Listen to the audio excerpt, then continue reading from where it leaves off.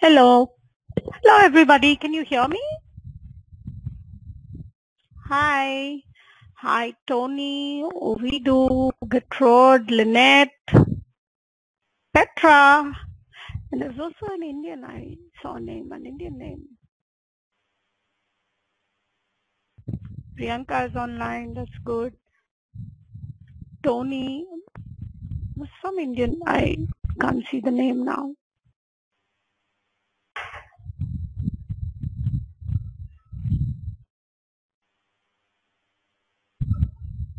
Can you hear me well, everyone? Just need to know that. Yes. Good. That's good. Let's see what we have today.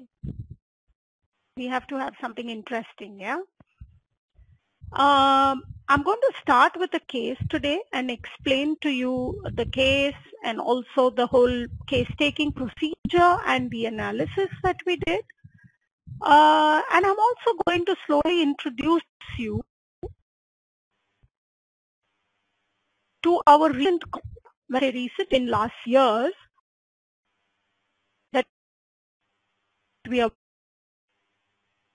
working on this concept and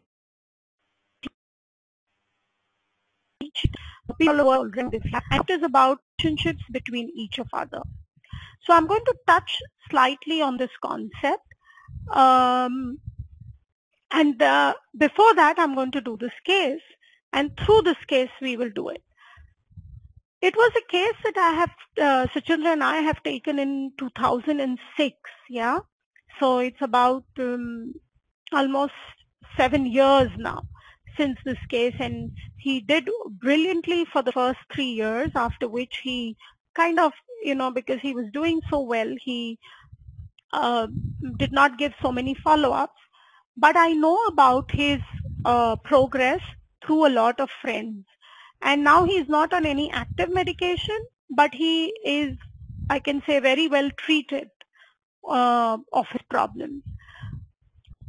So, A, the case has a long follow-up, but also the reason I want to share this case with you is because this was exactly the time when we came across this new theory that we are working with nowadays, you know, this six years ago, this time. It was the time when we developed an understanding of remedy relationships through our patients. This is very important to understand that whenever we've done something or come across something new or stumbled onto something new, it has always been through our clients. I would say that they have been a source of challenge for us and they have taught us or they have helped us to go on new journeys. Yeah. Um, so let's start with the case. He's also a very, very interesting character. Uh, he's about 50, uh, 54 or 55 years old. And as he entered into my clinic, he was this really huge and a well-built personality who would, I would now say, had also become a little obese. So initially he must have been really well-built, but over the years he was also a little more plumper. He had quite an air when he entered the clinic. And then as he sat in front of me, uh, the first thing he told me was, hi, you know, you are the Joshis and my surname is also Joshi. Um, I've changed certain names and things so that, you know, um, just to maintain privacy of the patient. And he said, uh, but I'm not the same caste as you are, and I hope you understand that. And I was taking a little uh, taken aback because, you know, um, that's not what patients say. Yeah, they come, they start telling us their complaints. And I said, can you see?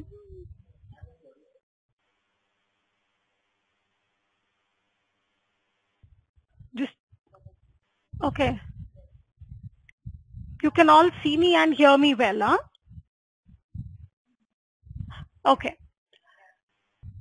So, uh, he said, uh, uh, he said, listen, I'm not the same caste as you. And I said, uh, okay, I'm sorry, but uh, what made you mention that? Because, you know, as a homeopath, for me, it's very interesting whatever the patient mentions.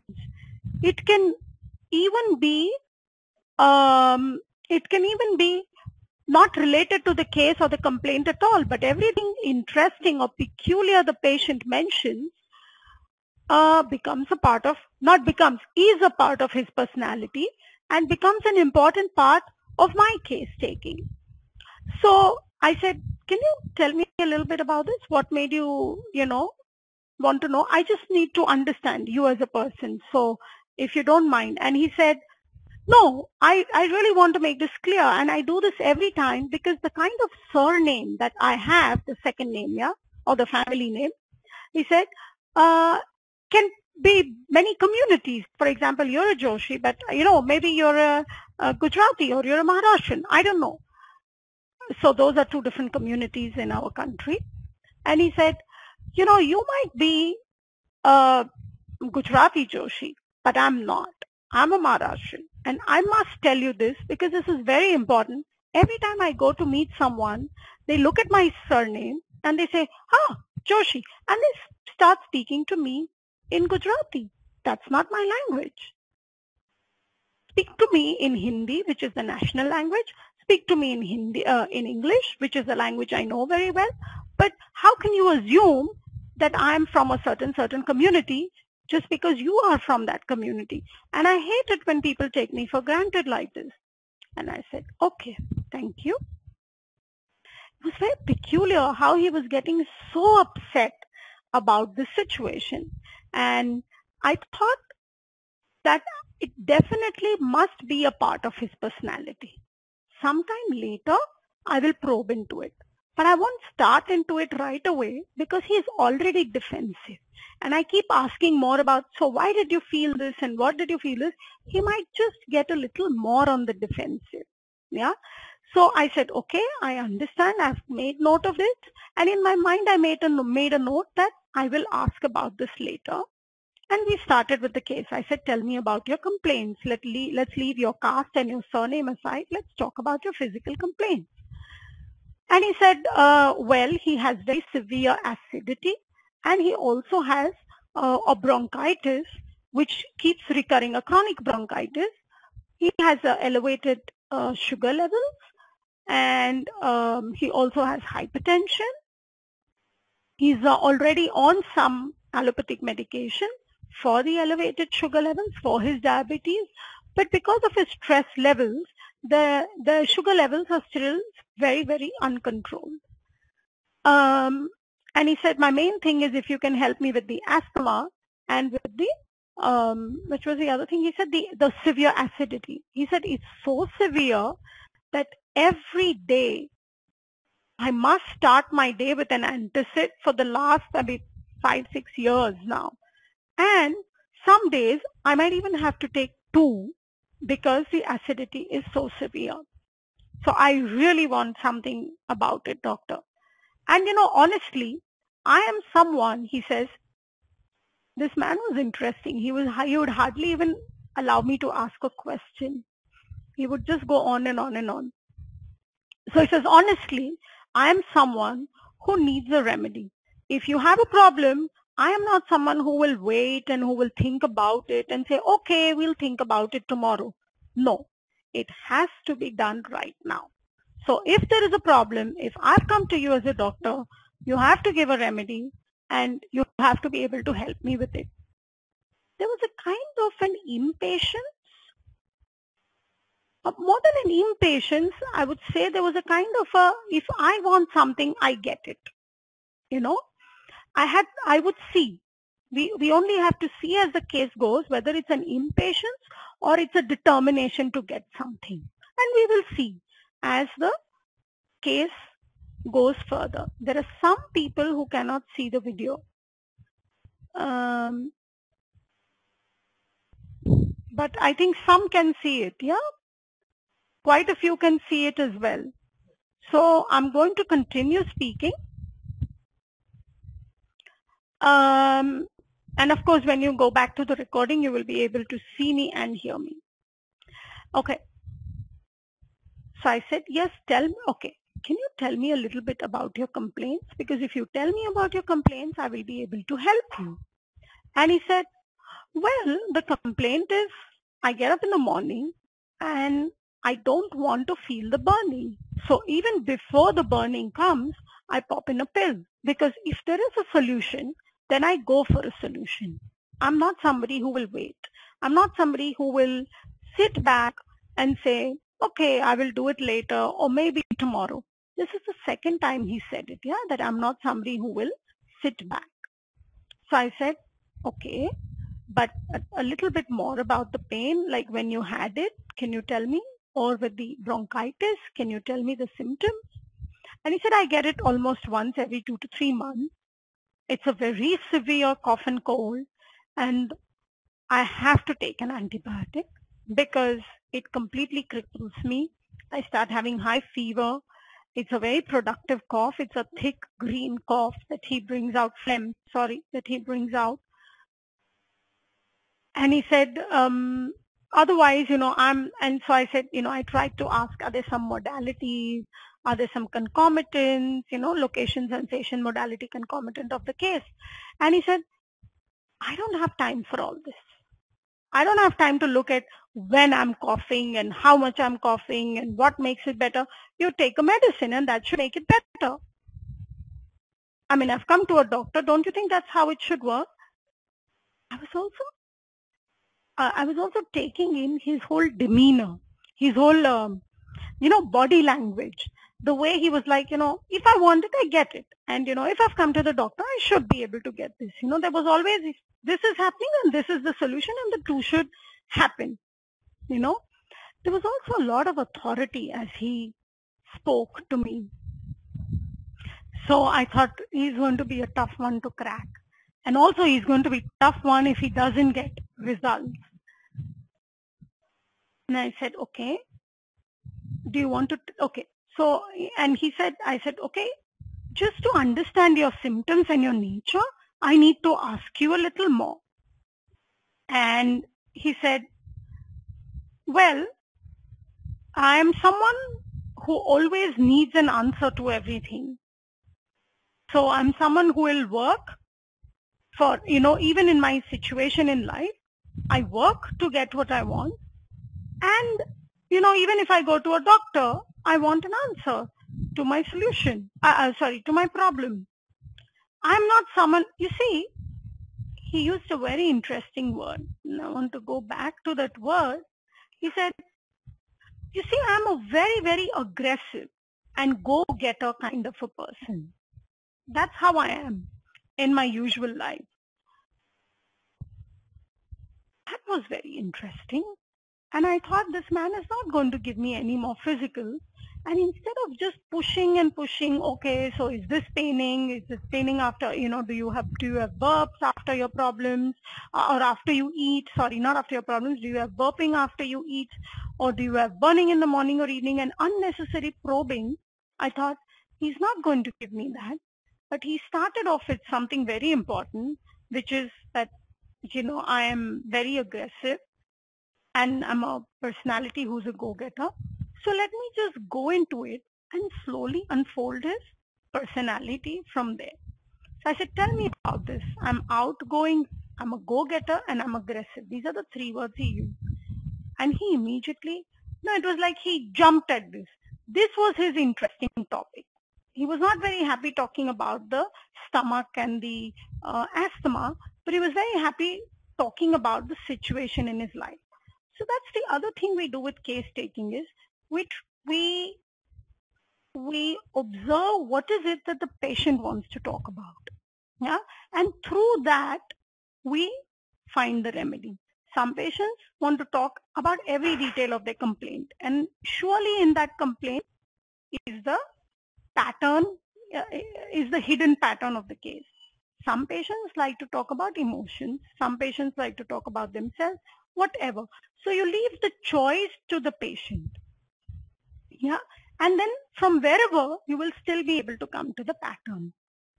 And I said, describe this outgoing. Yeah, I already told you that. He said, you know what? I love interacting with people. So there's also this extrovertedness, yeah, this need to interact with people and love for communication. He said, I have a team working under me. And then he, most of the time, just to give you his body language, he sat like this, you know, in the cave. Like, he was sitting like this. And, you know, I'm sitting there making notes. Yes, what's happening to you? And he looks like he's absolutely in command of the situation. You know, he's resting his hand behind on the chair. And, you know, feel, he felt like he was totally, one is totally at ease. And he also felt like he was, you know, uh, kind of showing off a little bit. Okay. Uh, but this is just my observation. And I'm not going to make a conclusion at this point. But I just make observation of the body language of the patient. And he says, I'm heading a group. I was the CEO of one of the very big companies and he, he of the country and he was one of the big CEOs. I'm going to avoid talking about the name of the company. And he said, I used to be a director for this company. So he didn't own the company. The owners were others, but they had, so he was like the working CEO or the functional CEO of the con, uh, company, whereas the company was owned by other people. And he says, and I worked there for 16 years and I headed the group. So, you know, and this was, I'm talking of a huge company with 55 to 60 plants all across the country. I said, okay. He says, I've done a lot of traveling. I've done a lot of meeting people. You know, and and when you do a lot of traveling, meeting people, selling your business everywhere, you need to be in a good frame of mind. And you need to have a good wit. And I have all of that. Surely you can take the rubric egotism. Yeah and you know loud and this kind of boisterous personality. Yeah? And that's what he was. And he said and you know what? One thing that affects me is i'm speaking to someone. I am talking to someone. I'm in the middle of this very important deal that i'm making. And i don't want a headache at that point of time or i don't want asthma at that point of time you know that's what I mean by I'm aggressive and go-getter. I have gone for this event. I have gone for this meeting. I'm going to crack the deal and come back. I don't want all these things niggling and bothering me. This, this irritates me. I hope you understand, doctor. Okay. You know, I, so I said, okay, good. Just a little bit more about this outgoing, aggressive personality. You're doing very well. I need to know a little bit more. And he says, my personality comes from my nature of work. Yeah. I have also been a sportsman, you know. I mean, so what if I was, I'm a CEO? When I was young, I was very heavily into sports, doctor. And I have played sports at a high level. I've played football, hockey, cricket, you know, name it as a young boy, I played all of it. Today I don't. Look at me. You can see me and you know that I don't play anything. But there was a time I used to play all of those. Haughty, you know, you can also take the rubric haughty. He was quite proud and quite um, uh, vocal about his achievements.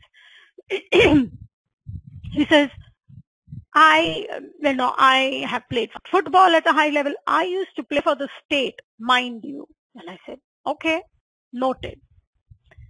And I have been healthy. I've been outgoing. I'm also a fun-loving guy, doctor. You know what? I don't just work. I'm also a fun-loving guy. You tell me about a party and I am there. I love partying. Okay, I said. I have friends. I have a social circle. I love drinking. I said, okay, point noted. You know, and, and then he said, listen, doctor, I have been to the best of the five stars in the country. And I've never paid, never paid in any one of them because, you know, I'm the CEO, I'm going through the company, the company pays for everything. So, you know, I've, I've, I've really had a very luxurious life. you know, I've dealt with big brands. Okay, I said, yeah. And, you know, so I, I'm somebody who's, who's, you know, been there, done that kind of a person. But he then told me, I have also eaten at the most smallest food joint on the street and I have no issues with it. I can survive in any condition. Yeah, I've done the best. But you take me to a very small joint on the road and you know in India we have a lot of hawkers and vendors and he named some very uh, famous hawkers and vendors that we have in the city of Bombay. And he says I've been there and I've eaten there and you know I I I have no issues about oh I'm this big guy so I can't go on the street and eat. I don't have all of that. I will go and eat. And he says I have friends, some of them are the richest in the world. And then I have friends, some of them are the poorest in the world. But they are good people. Whether they are rich or poor doesn't matter to me. But I have to have that wavelength and they are, you know, people I value. So basically, I'm trying to tell you that, you know, I, I'm, I'm, this is my personality. You know, this is a go-getter or aggressive or that's what I am. What more do you want to know about me? So up till now, I had only the superficial bits, but there was a strong feeling that, you know, he's already at the top, that he has a position, that he has a, you know, status or that he is a well achieved and he it's important for him to dish it out or put it to me or to express this you know position or power or this whatever he has. Yeah these are my words at the moment but i'm telling you that it's important for him to show me because up till now i can only say that he was showing off. Yeah? But at the same time it's not so superficial because it's part of his pattern that he feels he is there. Yeah? And he's worked hard for it or whatever but it's you know this need to have so much this need to be at this position this need to be at this high level is part of his pattern and it must be part of his pattern and that's why it has taken him there in reality. Okay? In reality also he's doing all of this. But this reality is because he perceives it like that and he has created this position for himself. So I do consider that when, when I finally understand this patient, when I finally come down to the core personality, these will be very important traits, yeah? This position, this power, this status, this flaunting, all of this. I said a little bit about aggressive. I understand you've done all of this, but just to understand your aggressive personality, what do you mean? He says, I have fun but I also deliver. I deliver results. I'm extremely sharp. My functions are very alert. You can say I'm hyper alert. I don't sit and watch a movie. Or I don't sit and delegate or just watch my juniors doing things. I get active. I, you know, there are people, the people working under me are masters in, in management from some of the best countries, uh, from some of the best universities all over the world. And I find them to be nerds.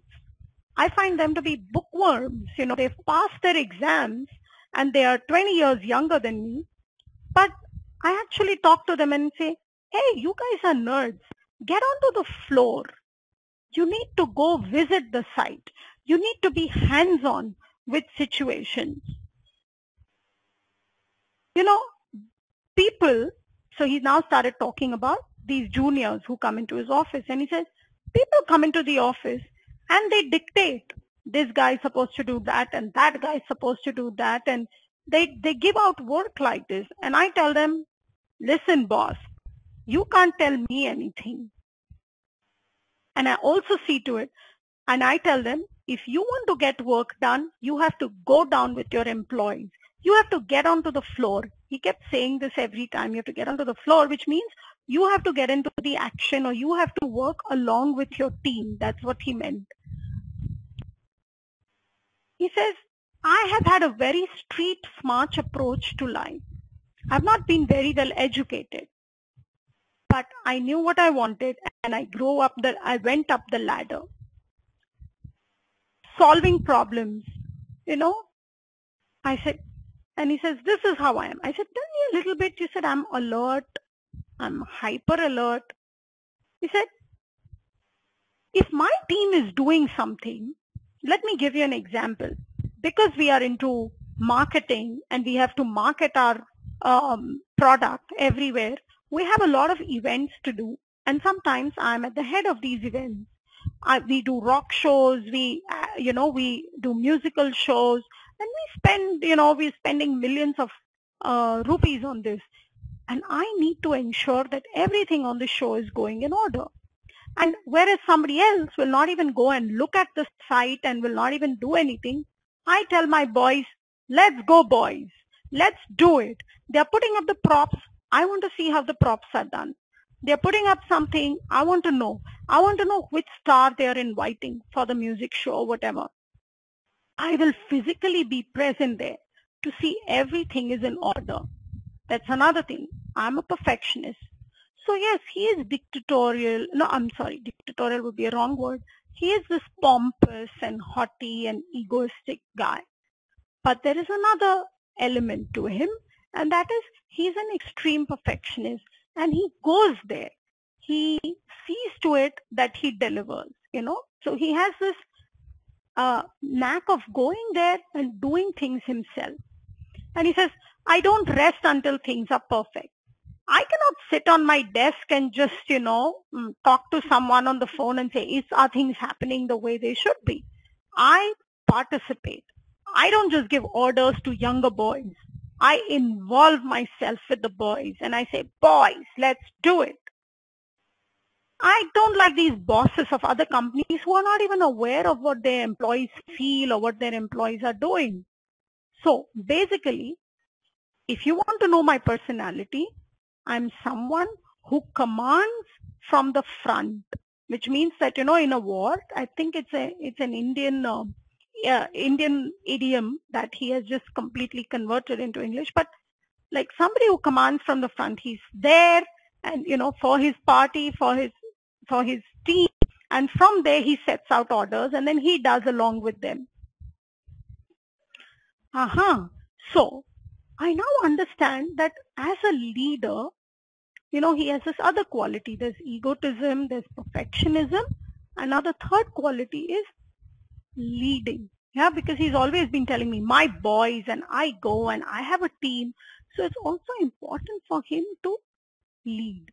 Now, whoever this personality is must have this depth and this strength. Yeah, and the remedy must have this depth and strength when we come to prescribing a remedy for him. So that's also in my mind as the case goes. I'm only listening, but these are the thoughts that are going in my mind. I'm listening, but I'm also actively collecting important issues. And as a leader, he is not a leader who will just tell others what to do. For example, very clearly in my mind, he's not a Platina like like person. You know, he, you he, you can say Platina like you know he's so haughty and you know he's so um, um egoistical and you know I'm at the top. I'm the you know this queen kind of an attitude that we know of Platina. But here is someone who goes on the floor and does it. So along with that immense uh, um, you know, ego and this flaunting, he also has a desire to perform and be there for his people. Yeah, that's a slightly different kind of a feeling, and I need to understand that. And that will be part of his personality as we understand understand him in the end. So I said, "Aha, tell me about this. You command from the front," and he says, when you lead an army, you lead it from the front. you yourself demonstrate to them what to do because you know very well what to do. I said, uh-huh, tell me that. Describe leading an army. You know, especially in sales, when there is an event and, you know, you have to negotiate with a client, I know very well how to do it. So I tell my boys, I explain it to them. You know, this is how you will make the deal. This is what you will say. I have a lot of information. I gather all the information and my store of experience is amazing. I'm telling you that. You have to believe me. And I said, I believe everything you say. And he says, you know, I, I, I have a very clear idea and I have made all my homework and I know exactly what my clients want and I know exactly at what point we'll be able to make the deal. So I keep a very good track of everything that's happening around.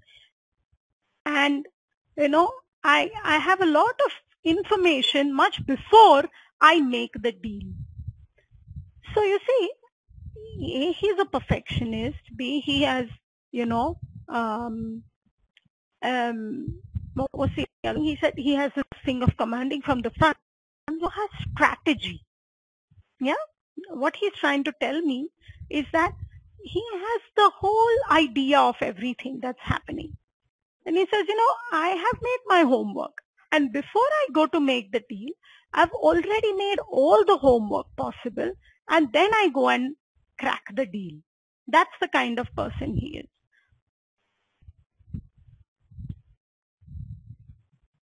And he says, he says, sometimes my boys can't do it because they haven't done the homework enough. But I have done all this homework and then I say, okay, now it's not your job. Now I will do it. And I go and crack the deal because I have done all this homework. And that's when I tell them, you know what? You have all your degrees, but you haven't done the groundwork. The groundwork is very, very important. And that feels great. You know, it really feels great to be a leader. I said, yeah, can you describe this to me? Feels great to be a leader? Now, as he's telling this, you know what, it's common sense, or I would say it comes naturally, yeah, that the remedy must have this strength, this power, this desire to lead. It was covering some of his symptoms yeah because nitric acid also has flaunting yeah it has pompousness yeah glamour glitter. But nitric acid is made from nitrogen hydrogen and oxygen these are elements of the first two rows of the periodic table yeah and i just explained to you in the first episode of this series about the periodic table a little bit, didn't talk much about it, but that as you go down the periodic table, the elements get heavier and larger. This we all know from our work in chemistry or from our basic study in science at school. So the elements that are on the higher rows are much smaller and have much smaller egos and smaller issues. So while a nitric acid would just be flaunting to get fun or to enjoy, yeah, to get those basic pleasures in life. This man is not enjoying by getting basic pleasures in life. He is somebody who puts himself at a very high position and he has developed a lot. He has become very heavy in his pattern. So he is at a much lower level. Uh, uh when I say lower level, he's at a much lower row or a heavier row if we are looking at the periodic table. Yeah. Uh, so I go next. I say, describe this leader. And he says, you know what? Remember one thing. A leader must also not just be able to command from the front, but he must also be someone who is very considerate you have to be a considerate person if you're a leader. Yeah. And I am obsessed with success. Let me tell you this. You know, I am very, very obsessed with success. This could also be my insecurity. You know, everybody has insecurities. Well, my insecurity is I must be 100% successful. I cannot fail. So, you know, he has very high expectations from himself. Just want to tell you at this point also that the miasm in this case is a very, very cancerous miasm. Cancer as a miasm has a lot of strength and puts a lot of expectations on himself and others and is a perfectionist and does everything to the T and has almost superhuman expectations from himself and from others. And he says, I can never fail. In my 26 years of experience, I have never failed. Not once. Just twice. No, sorry, he says, I have failed, but only twice. And, uh, you know, I, that, that failure was, but I don't even call it a failure. And I said, would you like to tell me about the failure? And he says, you know what? Let me explain it to you. And he gave me a very nice example which explained to me his, his character as a person. He said, I was, remember I told you I was the CEO of this company and I built up this company and we had 62 plants all over the country, blah, blah, blah, blah, blah. And he said, then the company was overtaken by another company. So there was a merger happening with another multinational. And he said this was a local company, local Indian company. And he said as the merger happened, what happens with most mergers is the new company that comes in does a lot of layoff. I'm going to explain in short because he's written a lot. I mean, the transcription is a lot. And he said when the new company comes in, they lay off a lot of people from the old company. They bring in their new people. And so people suddenly become jobless. And when my company decided, when, when it was bought by this other company, and I was the CEO, so the CEO helps in the merger. And he said, I saw to it that not one single man of my company was laid off. And I really fought with all these big guys. I fought with each and every one of them. And I took the matter to court and, you know, I worked hard on my, uh, my papers and, you know, I presented a very tough case and I saw to it that every single person who was in the old company was taken up in the new company. I really fight for the weak ones. I, it totally hurts me to see, you know, injustice. And he says it was a huge merger. It was a merger of about 500 million or something like this. And at the end of it, he said, the company was sold, the new company, which was taking over this old company. Of course, he said, I was thrown out. I wouldn't be the CEO anymore. And I knew it. But he also said that the company, the new company, did not give me any bonus. He says, when a merger like this happens, the CEO gets a huge chunk of money. And this company was so upset with me that, you know, I really got nothing. And everybody around and my family and everybody said, you know, you're being foolish. And I said, I'm not being foolish. I'm being strong.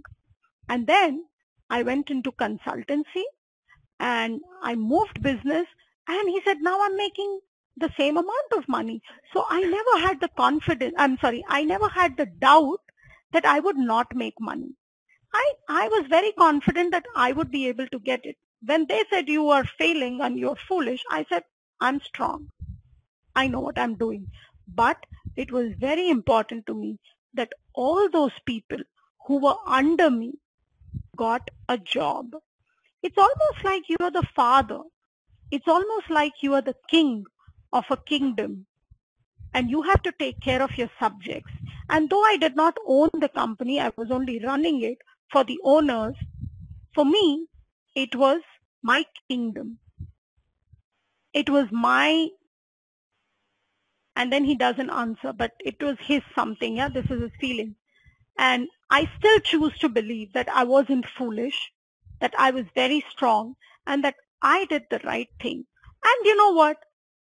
In few years after I left that company, today I have the similar power, similar position, and similar status. What does this give you? I asked him. Power, position, status. What is this experience? You know what? What was happening in my mind until now was that I have, uh, okay, I have understood that the core pattern of this personality is to um, to lead, to uh, dictate or lead everyone, not just lead, also take care of everyone. Yeah, there is not only the element of leading, but there's also the element of, like for example, what he did with this company is he took care of each and every single person in that company. So there is this element of being responsible. Yeah. And I'm sorry because I went through that whole thing very quickly as I explained to you. He also used the word, I was responsible for all these people who are under me, like the father of the children. So he puts himself at that position, like he's the father, he's the king. So there was that to the personality.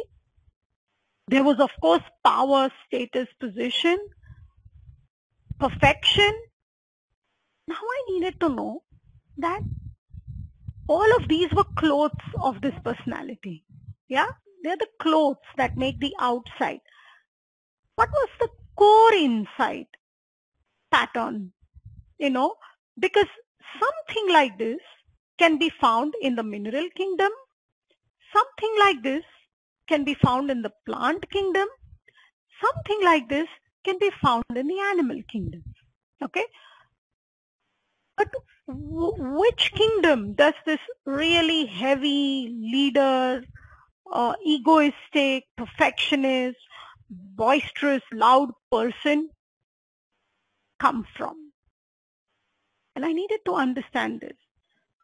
So it was for that that I asked him, what is the feeling of status?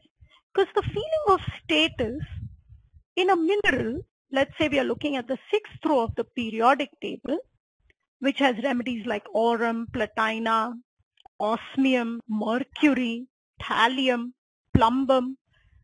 The sixth row has a feeling that they are the leaders, it's their responsibility, very much like him, and that they do not have to fail in this responsibility or that they have to achieve this responsibility to the highest um, order.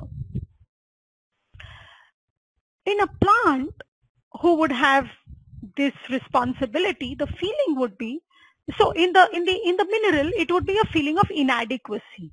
Yeah, that's what I'm trying to say. Inadequacy if he cannot get it and complete adequacy if he gets it.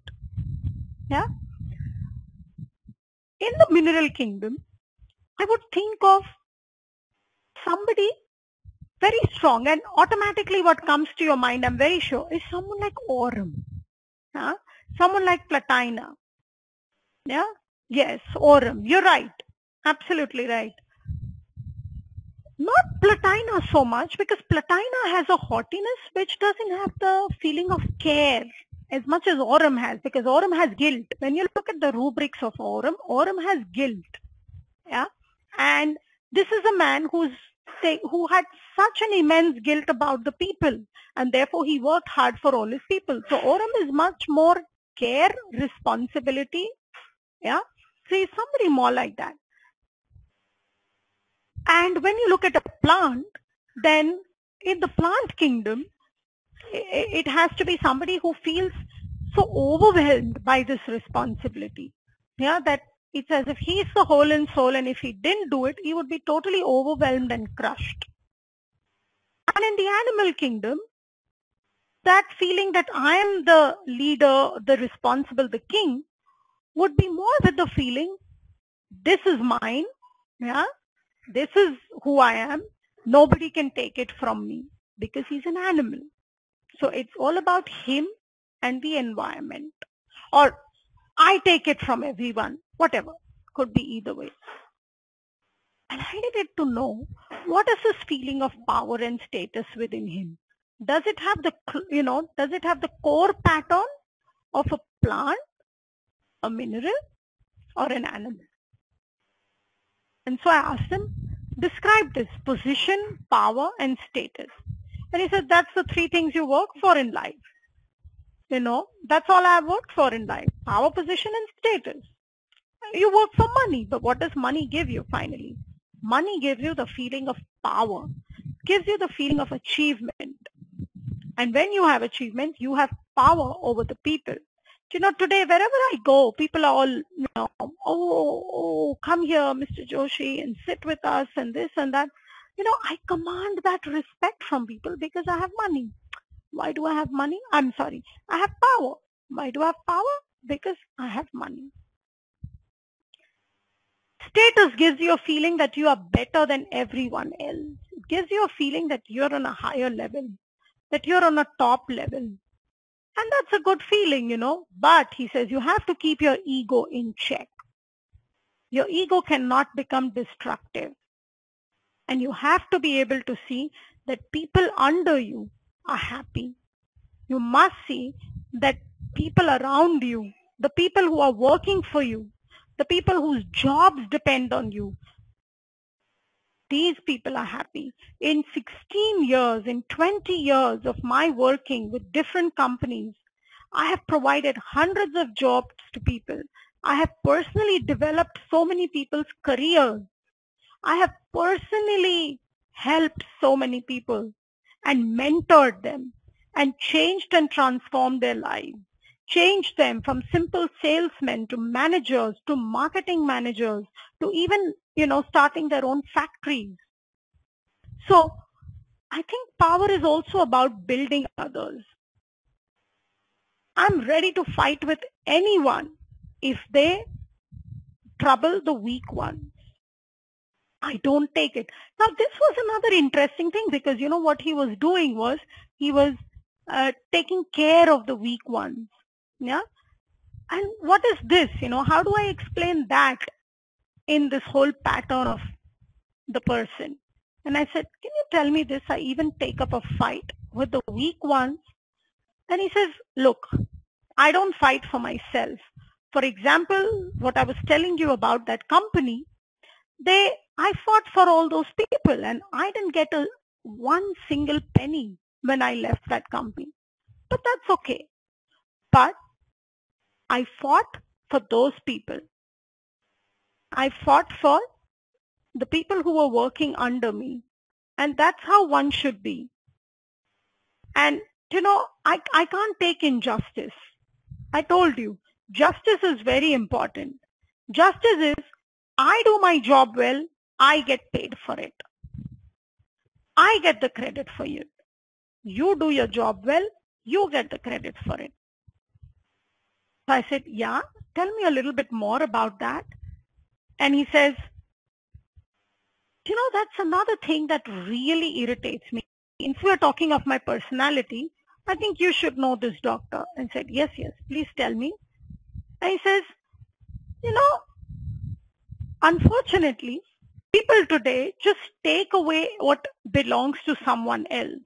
I said, yeah, tell me about that. And he says, it's very frustrating and it totally bugs me, makes me angry, makes me frustrated when people simply take away from others. People take away your credit. Someone else takes away that which was yours. And that's what I feel with injustice. Yeah. Can you go more into it a little bit?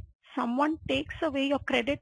Now here I understood that though he has the feeling of being a you know leader and a responsible person and um, somebody who has uh, who takes care of everyone, somebody who feels I'm the father, I am the king, somebody who is a perfectionist, yeah. So all these qualities are like Aurum. Suddenly at this point, he starts to say, he starts to talk about injustice and I ask him what is injustice and his feeling is somebody takes away somebody else's credit. which means someone takes away what belongs to the other person.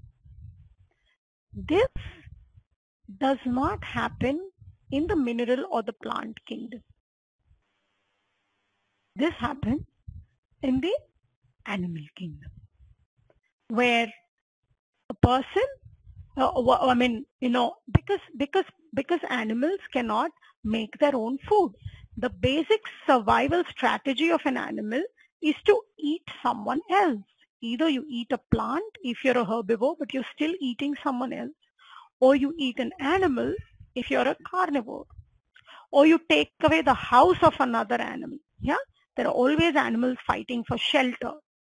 So the animal kingdom survives by snatching what belongs to the other or by protecting from the others what belongs to them.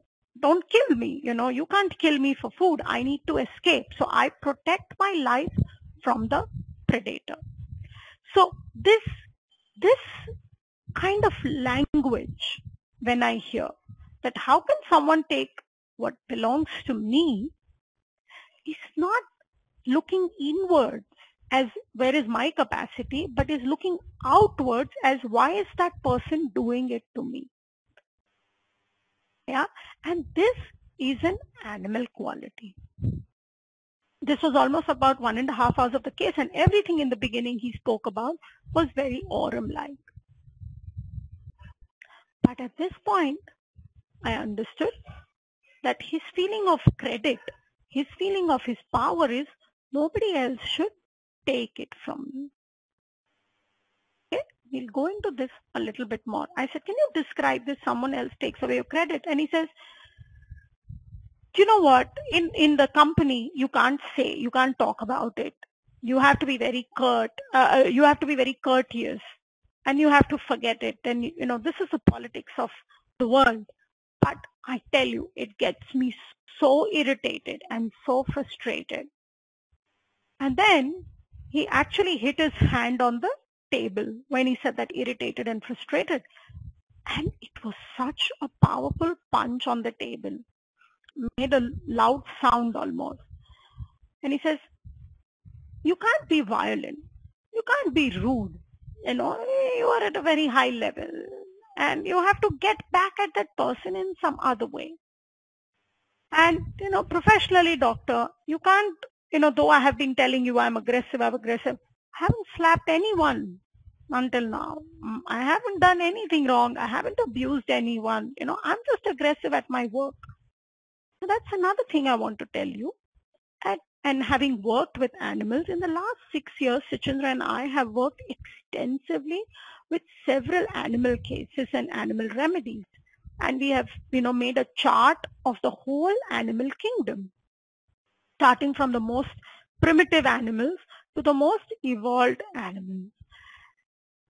And uh, what I wanted to tell you is that, uh, so what I wanted to tell you, I forgot that point. Uh, what was I telling them? Getting back? No. What, what was I saying? What was the last thing I said? Something about animals I wanted to say. Okay, when it comes to me, I will tell you. But the point is, uh, if anybody remembers what I started speaking before I said we worked with the animals, just get give me a feedback and then I can tell you. There was an important point I wanted to make on animals.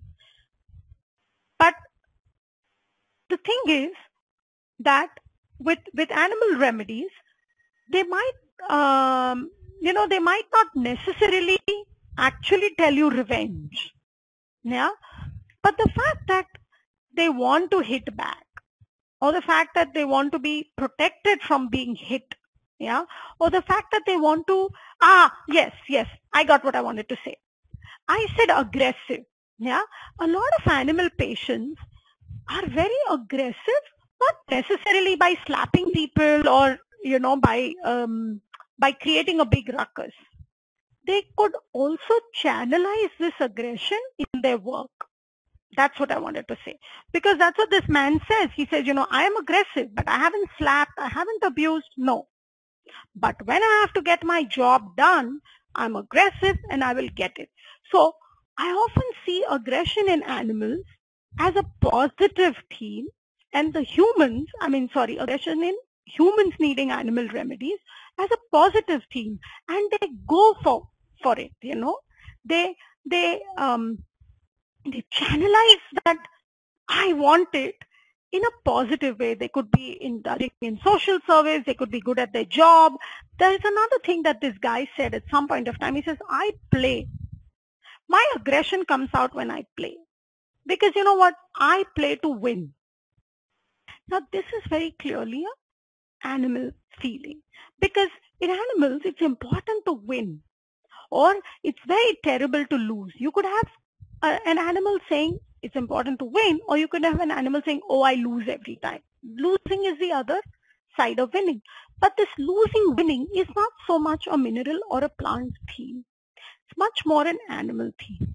And often I find that the aggression of several animals is never at fighting or, you know, things like that. It comes out in a very positive channelized way at the in their work front. So remember this point. Okay. So he comes back to me and he says, so you know what? I can smile and say hello to the person who's bothered me. But in my mind, I know I will get back at him. And also in my mind, I'm smiling and saying, you know what I really want to do is kick your backside, man. So I said, tell me about kick your backside. And he says, that's just an expression. You don't do it. You know, you're living in this human civilized world. And, but you really want to tell that person that, look, you are taking away my credit and I'm not going to let you do it. And I said, aha, now I understand. I totally understand now your core pattern and everything around it. I said, a little bit more about this, aha, man. And he says, this happened to me. Now you remember where we started with the case, huh? I told you about how he was telling me about I'm not this surname and this caste or whatever.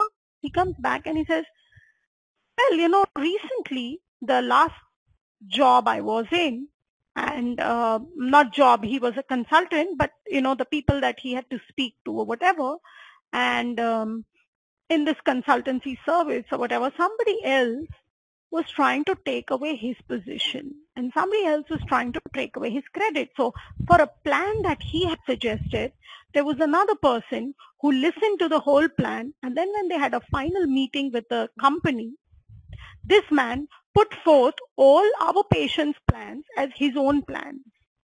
You know, so, and this man who did the whole thing was from the same community that he was talking about when he started the case. Uh, so you see, what he started with as anger and hatred, or not hatred would be very wrong word, but what he started off with, you know, I'm not this caste and I'm that caste, was actually still that boiling anger from an old incident that had happened. So it's so interesting, yeah, that it's in your, you could be just joking about something or you could be just mentioning something else but that comes from a very deep pattern. Yeah. So eh, it was, you know, he didn't need to say that when he started with the case, but that's so much part of his pattern that somebody else is taking away my credit and I have to constantly be alert about my credit that, you know, every time he comes across a situation, I mean, he's with a doctor, I have the same surname as, as him, but, you know, it's not threatening at all but he still makes it a point because that threat is not in the outside. That threat is in his own pattern. And every time he sees that threat, he comes out. Huh? And he almost like attacks, you know. And this feeling, now I understood why he started the case with that also it's very important that he, it looked like just a superficial phenomena, but he started the case with his deepest pattern. And he's ending the case with the deepest pattern. And he said, remember I told you about this surname?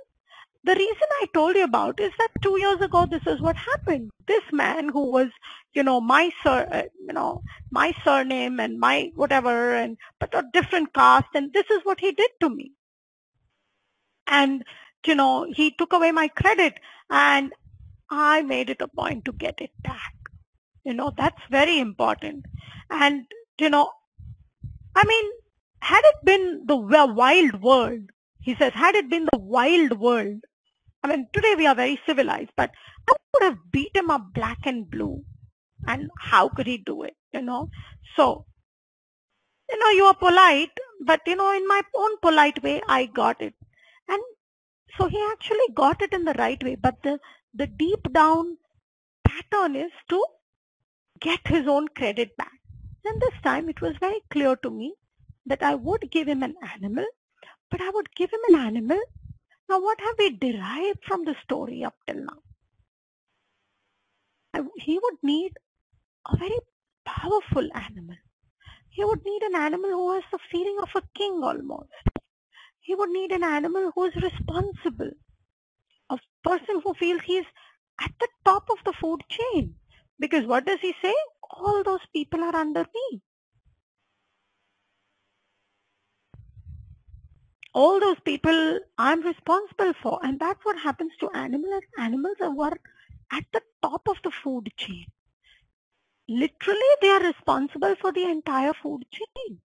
That's why we also call them kings of the jungle. And he would definitely, at this point I would like to say, need a predator remedy. Because predators, A, are at the top of the food chain. They are extreme go-getters. And they really hit back. And you know uh, human predators i'm talking about human remedies or human patterns that need predator remedies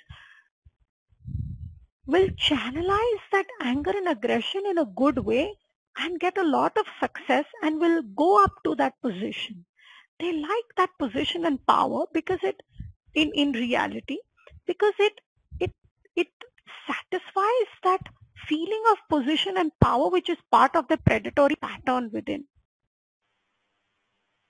I've also seen that in prey remedies, you see a need to escape in a situation. You need to see, you, you see a need of, hiding, of withdrawing, of feeling victimized.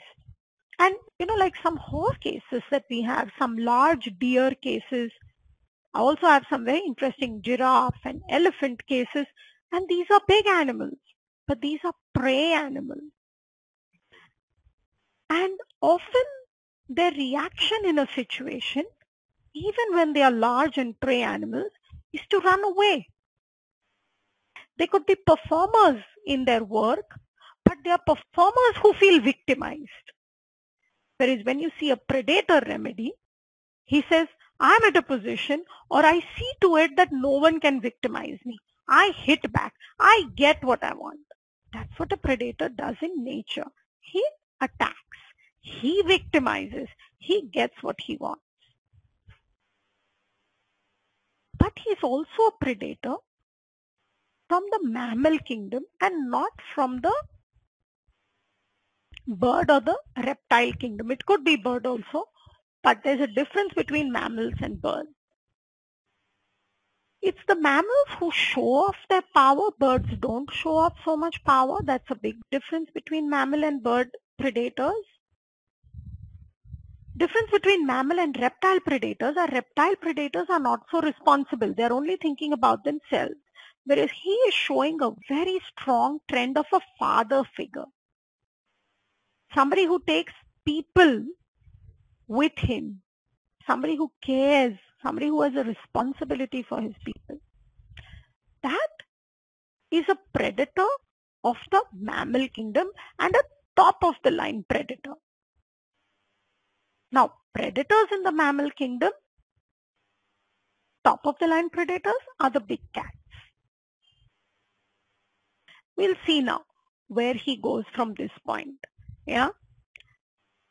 I said, uh-huh. He then said a lot about this credit and he said, you know, I hate people who take away the credit and you do it, you fight for it, you get it. I had another case, Shachindra and I had, a very interesting case of cheetah who said, you run for your pound of flesh, doctor. you know, and that's exactly what the cheetah does. He runs for his pound of flesh and he says, you know, you in the corporate world get what you want. You, you deliver results. He was a fantastic salesman. You know, he's not somebody who fights on the road. So don't get me wrong. Predator remedies are not remedies who will fight on the road. But predator remedies are definitely remedies who fight in their performance, who give it their best shot and who want to achieve and who play to win. Yeah, this is the quality. So the aggression in humans is seen in their performance, is seen in their achievements, is seen in their targets. It could be seen in their anger and they could get into fights. I'm not saying no, but not that that's the main thing. Yeah. Okay. So I said, uh, uh he says, you know what, doctor? Yeah, as he went, he says, I'm also a very good chess player. You know, I'm, and as I told you, I play to win. So I said, okay, um, do you have any hobbies? Because now I wanted to know from him if there is any animal that he likes. And he says, well, I used to, as I told you, I used to play a lot of things, but you know, then I got into work and business and, you know, all of this. And now I'm not doing any activity, but hobbies, yes. I would love to swim. I love the water and I used to be a very good swimmer at some point of time. Today I just sit in the pool and I enjoy myself. Uh-huh. Anything in, uh, uh, so any other activity or anything that you would like to do? He says, I love traveling. I said, what do you, where do you like to go? What do you love about traveling? And he says, I love the greenery. I'm a wildlife enthusiast. And I said, great. That's going to lead me to where I want to go to. He said, tell me about wildlife. And he says, well, once a year, it's very important for me to go for a holiday on the hills and go looking for wildlife. I'm very fond of animals. And I said, oh, that's perfect. You've fallen into my trap. That's not what I said. I'm just joking. So um, I asked him my next question. Tell me about animals. Now, for those of you who don't know, because there's a lot of new people on this uh, webinar, we have formulated four questions on animals that we ask all our patients, be it a plant remedy, a mineral remedy, or an animal remedy. And these questions about animals and the animals that our patients pick up for the different questions help us to understand the power, the strength, the self-esteem, and the character of the patient.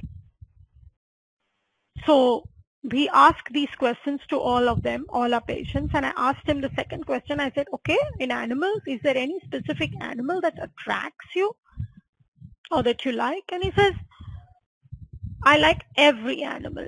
But you know what? It's the tiger and the leopard that fascinate me. They, I love the monkeys too. They're so intelligent, you know, so versatile, like a few birds. But when you talk of fascination, it's leopards and tigers. Why? I ask him. He says they're a combination of power and strength. Aha, I didn't know that. Tell me about it. And he says, because you're sitting all the day on this chair. You hardly go out. Do you really do anything for yourself? And, you know, so he now started counter questioning me. And um, I wanted to tell him that no, the whole zoo comes to my clinic, you know, so I don't really need to go looking for wildlife. But that's not what we said.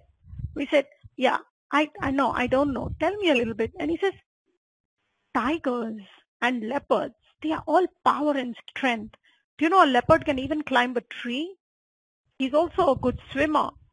And uh, I always go out to see them. There's a park, there's a national park close by in Bombay and you see a lot of leopards there. Not a lot, but you do see leopards and there have been a lot of encounters with leopards in that park. And he says, I have often gone very early in the morning walking in that national park because I was always hoping that I would spot a leopard. And you know, everybody gets scared of them. I don't. And I have gone to various national parks and that's when I have also seen tigers and they are amazing. Little did he know that we actually do, I mean, of course, not at that point, but imagine six years, 10 years, not six, eight years later, like last year, we did a whole homeopathic seminar in a jungle.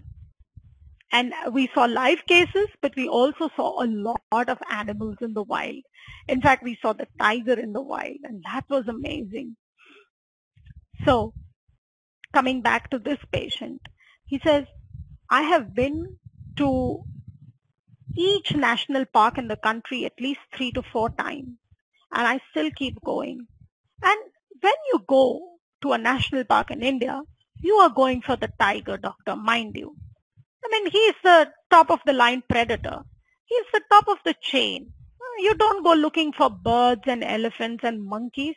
You go looking for the big guy. You know what I mean? I said, no, please tell me a little bit more. What do you mean, this big guy? He says, doctor, the top of the guy is not just the top of the chain guy. He's strong and powerful, but you know, he also controls the population of all the smaller ones in the in the jungle. Now, do you remember how he said, you are the king, but you take care of everyone under you? Yeah? It was so interesting how he mentions it. And he says, you eliminate the tiger and you are spoiling the whole ecosystem. So I would say that it's the tiger who's most important in the food chain and he's the topmost guy. So I said, okay. Now tell me a little bit between the leopard and the tiger. At that time, we had not really coined these questions. Yeah, we have four clear questions that we ask the patient, but at that time we hadn't coined them yet. Yeah, this was just the beginning years when we were seeing a lot of animal remedies and animal mineral correlation. So we said, tell me a little bit about this leopard and tiger, and uh, you know which one do you like out of the two? But these were the raw questions about animals that we were asking. I would say these were raw questions. Um, he says, I like both. Yeah, but you know, if you had to choose, which one resonates more? And he says, of course the tiger, you know, the leopard is wonderful. But you see, the tiger is the topmost guy. He's the king. There's nobody who can question him. He attacks. And when he attacks, he's alone. He needs no assistance. He takes care of all issues. He doesn't depend on anybody. The other animals are all dependent on each other. The, the deer, the monkeys, they, you know, the monkeys give a call to the deer. The peacocks give a call that the tiger is on the prowl. The tiger needs no one. He hunts alone. He lives alone. And he's responsible for the food chain. And I said, oh, that's life and fascinating. And he says, you know, the tiger when he attacks, he, he might attack late in the evening, but from early morning or from a few hours ago, he's already scanned the whole area. He knows what he wants to do. He has done his homework. Now this is exactly what he said when he was talking about, you know, his homework that he does when he goes to crack a deal. He says, you know, all the younger ones go and do it, but they haven't done their homework. I've done my homework, and when I go, I crack my deal. So here he says, you know, he's a fair guy. He's made the whole, um, he's taken track of the whole situation. He scanned the whole area, and you know, he really gets it. And then he goes for his kill, and he's obviously going to get it He's very strategic like this, you know. And I said, uh-huh. And he says, I'm just trying to match up the tiger for you. I said, excuse me? I'm trying to match up the tiger for you. I said, match up the tiger? I mean, I'm matching him up for you. You know, you said, what do I like and what do I feel like? And I had never asked him that. Huh? I'd only asked him between the leopard and the tiger. And I said, I'm matching him up for you. So I said, matching him up with with uh, with myself. I'm just matching him up for you. And I said, okay, thank you. You know, if you're talking about me, I'm as independent. I take my own decisions. I'm a leader. So if you're matching up me with anyone, here's the match. And I said, okay.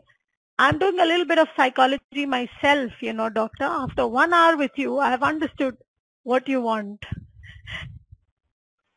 It was so interesting. You know, he also wanted to show me that he is. That's the other thing with predator remedies is that they want to show that they are one up than you. They are above you. They have to be because they are the ones who have to kill. So their senses, their observation is very sharp. And I often see this in my predator cases in the clinic is that they show you through their wit, they throw you through their answers, you know that they have an upper hand over you because it's in their pattern to show this or that it's in their pattern to explain this, you know, or to bring it out somehow. They are also very charming.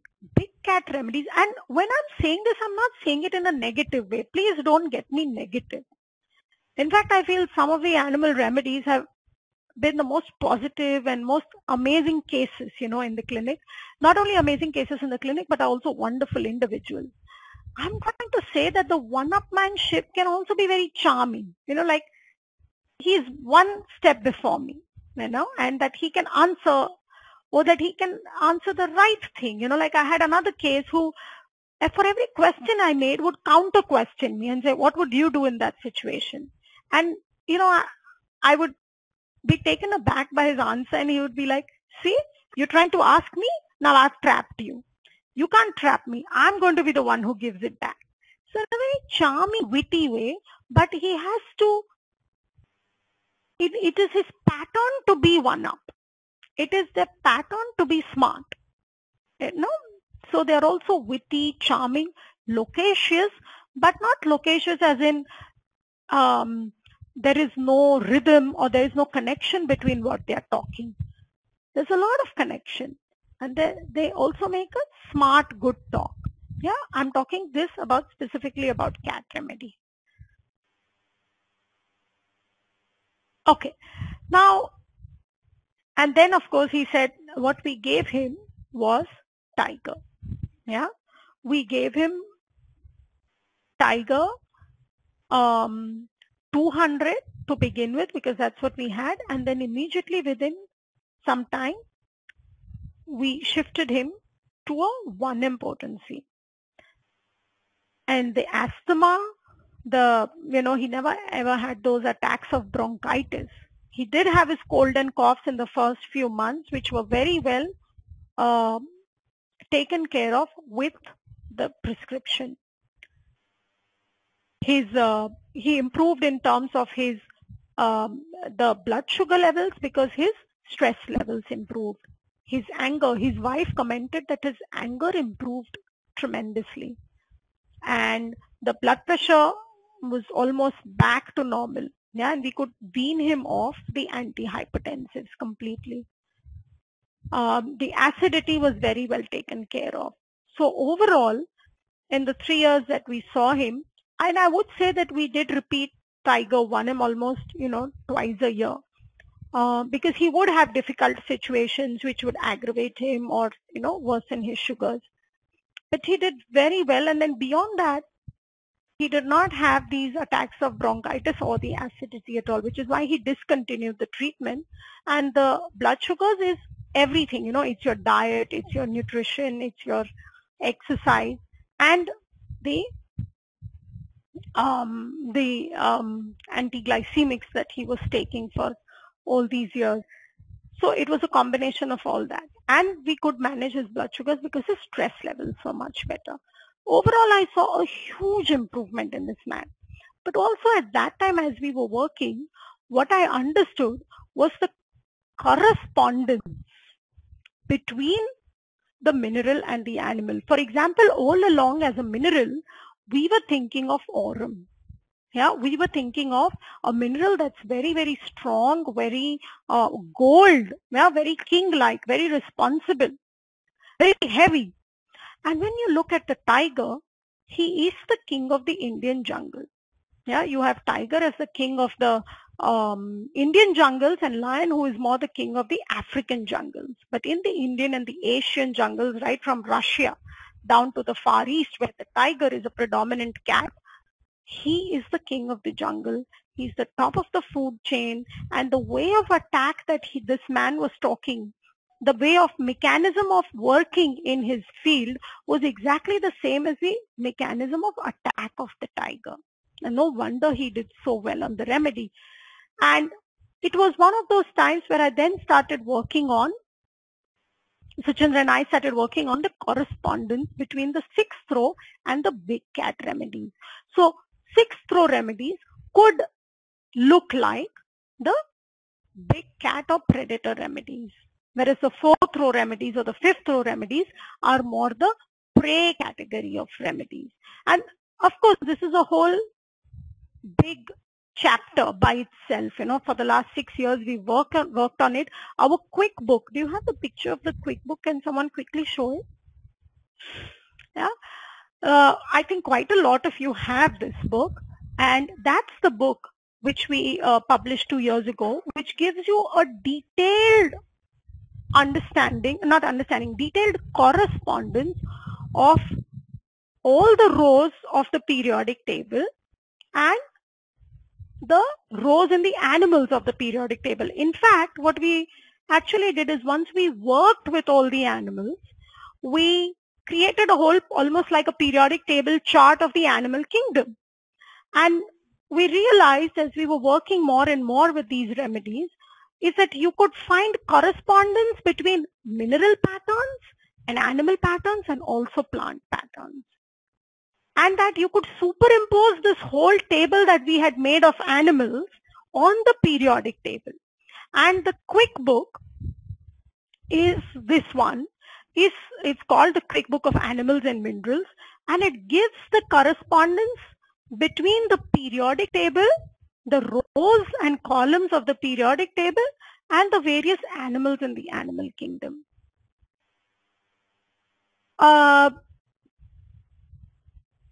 and and this has been very very helpful not just animals yeah? when i say animal i mean the whole animal kingdom so we have reptiles we have birds we have you know the whole mollusks cnidarians so the whole animal kingdom yeah and I have found these correspondences extremely helpful in our practice. They have been extremely uh, helpful in difficult cases. They've also been helpful in cases where we are thinking of a mineral remedy, but actually it needs a animal remedy. Then once we know which mineral, we can just find out which animal corresponds to that mineral row and prescribe an animal. It's also been the other way around where we found an animal that the patient talks about but doesn't need an animal at that point and we've given the mineral of the corresponding row and it has worked very beautifully in n number of cases for the past six years. I would also like to just say that today we even believe that in each one of us there is a plant, mineral and an animal pattern. Basically we all have a pattern and for that pattern, there's a plant, a mineral, and an animal pattern that can compare to this human pattern and that can help this human pattern in times of disease or in times of need. Now, the other point is, therefore, this mineral, animal and plant which can help this human pattern must have some connection to each other. If they can all help this human, then they must have a certain connection to each other. And they do. So we have worked out the whole mineral and animal correspondences and the next step is to work out the mineral, plant and animal correspondences so that we have a connection between all the three kingdoms of the um, all the three kingdoms that are existing. I've also spoken about this whole understanding in the in the recent small book that uh, we have published, the Explore Your Inner Human Animal Connection. Yeah, this is, book is, I think it's, uh, the picture of it is already there on your screens if you can see it. And that's a very short book, but it explains our whole concept and it also explains the concept to patients. So if you want to give it to a patient to read it and understand it, then it's from a layman's point of view as well as for a doctor. Yeah. um, just before, I do want to do a little bit more. Today we'll go a little longer because I want to differentiate the tiger from the lion. Yeah, just five, ten minutes more. But before that, I wanted to talk about uh, our events and seminars just before we go to the differences. I also want to differentiate Ranunculaceae from compositae, which was a question last uh, uh, at the last webinar. Those two, before I do that, just want to show you a little bit. This theory that I have just put forth today is a very, very profound theory and has a lot of interesting aspects to it. Today I am just, um, you know, tantalizing you. Yeah, because that's all I can do in this one and a half hours. I'm just showing you that this is the theory, but there is a whole lot more to this and it's not new. We have worked on it for the last six to eight years. We've seen a lot of cases. We've thought about it. People have also seen results in their own practice and sent us feedbacks of how much they have used this theory. So I would also say that it's time tested and it has been used by people other than us as well. And it has a lot of sense to it. Um, and of course, you need to know it in its depth and you need to know the whole uh, the, the depth and the vastness of the theory. Um, a lot of this is what we talk about and teach during our webinars. Uh, we have a webinar which goes for a year long. This is called the monthly tonic with Joshis. It has been happening, I don't know for how many years now, three years already. And uh, in 2015, we will start our next series, which will be the fourth year and um, this starts from the from the 17th of April and you have a special offer of uh, 260 now this is also not it doesn't have too many seats because people have been coming to it for the last three years. So we already are you know we have a um, a following already and already friends with us on this webinar. Um, and it's a special offer for about $260 uh, until Monday midnight India time. Yeah, and the reason is we want to motivate more people and we want people to use this and see the benefits of this and see how it can help you solve your difficult cases in practice. We also teach how to take cases and how to understand animals, minerals, plants through different cases. Yeah. So the and the price has purposely been reduced at the moment until Monday midnight India time. Yeah, so just just um, bear this in mind. What's the original price of this one? It's about 300 US dollars. So we have reduced it by 40 dollars specifically for for new people, for people who want to learn more about this and who want to be a part of this uh, kind of work that we are doing. Of course, we'll be doing all kingdoms and we'll be doing various cases and acutes as well in this monthly tonic. Okay, this I must tell you, it's a very interesting thing. In the month of June 2015, the links issue that comes is uh, dedicated or not dedicated, yeah, is dedicated to this recent work that is happening all over the world. For example, I'm working, we are, Shachindra and I are working on the animal and mineral correspondences, but I know that Jan is also working on plant and mineral correspondences. And so this one is dedicated for on newer theories and newer concepts in homeopathy today. I'm the guest editor for this issue of June 2015. There are about uh, 12 to 13 cases from different people all over the world who have talked about their plant and mineral experience after having worked with our theory and uh, I'm sorry uh, mineral and animal correspondences and some have also talked about mineral plant and animal Jan has also put his article in this with his theory of plant and mineral and um, you know so it's it's a lot of good work on this correspondences between kingdoms yeah? And I would really want you to uh, you know get hands on this one specifically and read through it because you will see a lot of cases based on this work. You'll also learn a lot of animal remedies and mineral remedies, but you'll also see people's work and other people's work on this theory. That's more important. Um, Okay, we, we will be in Hudson. So those of you who would like to come to New York, we will be in Hudson in uh, April, at the end of April. So it's April 30th to the 3rd of May. We're also doing a drug proving at this seminar. Yeah, and we're usually about a nice group of 35 to 40 people. And uh, we're really looking forward to doing the drug proving here. So very soon we will be in Hudson. Of course, we'll be in Moscow. So those of you who want to join us in Moscow can join us in Moscow. We'll be in Bulgaria. These are the dates. I think all these dates have also been put up on our website. So you can at least look at where, which part of the world you are in. And if you want to join us to understand more about uh, remedies and materia medica and philosophy, you're most welcome. Berlin, we're going to be in Germany as well on 30th of May. And then of course, after a gap of a year, last year, we've always been doing London seminars for almost 10 years now. And we had a gap last year, but we're back in London this year again, 5th and 6th of June. Uh, so this is our um, schedule in April and May, which would be great if you can uh, follow us or you can, you know, come and meet us or you can be part of this, our, our seminars and that's Tiger 50M. This is an event that we are doing next year in India. This is an event where, where Petra, I think Petra was part of Tiger 50M with us.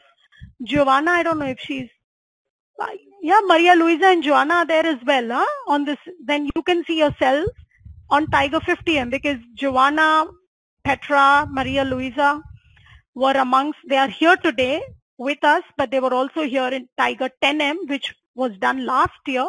Next year in 2016, we are repeating the event as Tiger 50M and uh, the event will have live cases because we do live cases there, almost two to three cases a day or one to, it depends on what are the other schedules for the day. And the other schedules for the day involve going for jungle safaris, looking at the flora and fauna in Ranthambore, looking for the tiger, looking for sloth bears, looking for leopards, looking for deer, looking for uh, all kinds of owls and seabirds. And of course, there's meditation and there will be a drug proving in this event too.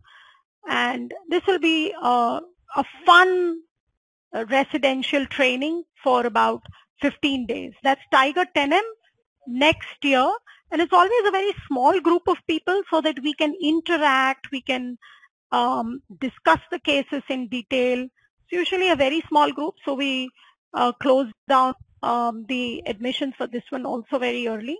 So if you do want to be part of this, you're most welcome. Okay, that's the website, which of course you all know. Um, now, I just want to come back to tigers and lions. Yeah. The tiger has a very different way of survival than the lion. Now, A, you know that lions live in groups called as prides. Now, in the in Africa, they live in prides where there is a single male lion and there are um, uh, with his pride of uh, female lions, about eight or 10 or six females. Sometimes it could be as small as three or four and the cubs of this male. Yeah. And so there is a very strong group theme in lions or in the cases of lac leoninum where they really like following. Uh, following means they like people following them. Yeah. Uh, no, this was, no, no, no, this is only cats and dogs. This doesn't have anything between tiger and lion. Um, uh, so they, in a lion case, you always see that they need a lot of, uh, you know, when, in fact, they are very good at delegating. You know, this guy kept saying, I'm someone who will not delegate. I'm someone who will not delegate. I go on the field and I do it. I'm on the floor. I am commanding from the front. This is the way a tiger attacks. Lions always have group effort for attacking. Of course, the male does not attack and it's only the females and the male only comes in at the last minute. In the Indian Asiatic lions, the males form a group, yeah, of bachelor lions. And then there's also lions in a pride where it's the male and female or only females with their cubs. But again, you see that they are a group. Yeah. So what you see in lion cases is they prefer to sit back and dominate.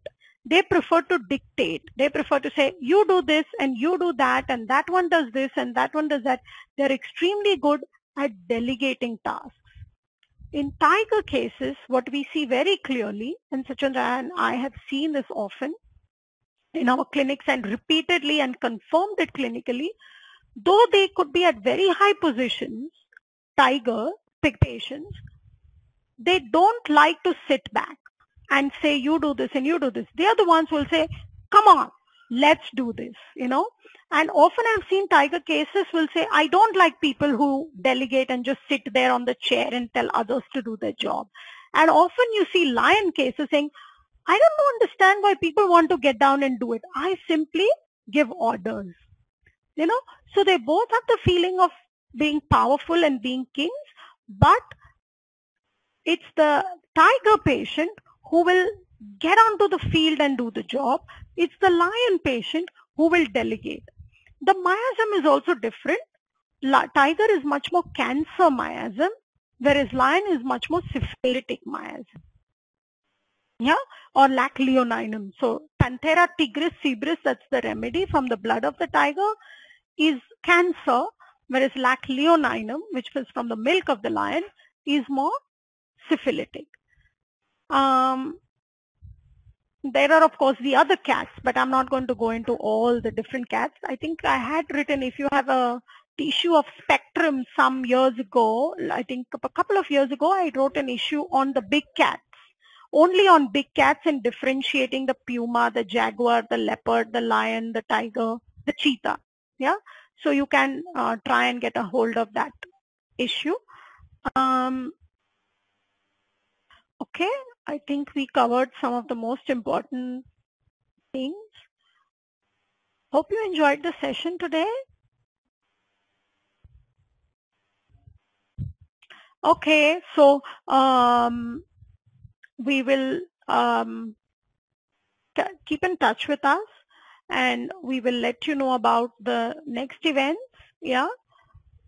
Um, do join us, of course, for the webinar. The monthly tonic will be a very interesting event or has been for the past three years and will be next year too.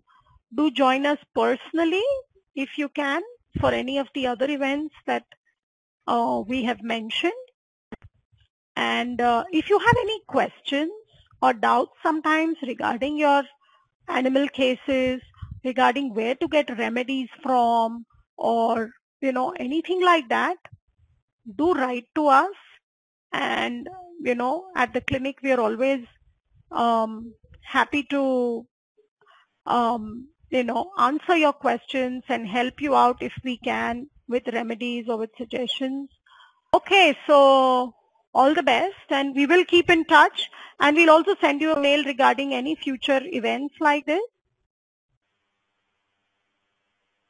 See you either in cyberspace or in person somewhere. Yes? Okay, bye-bye.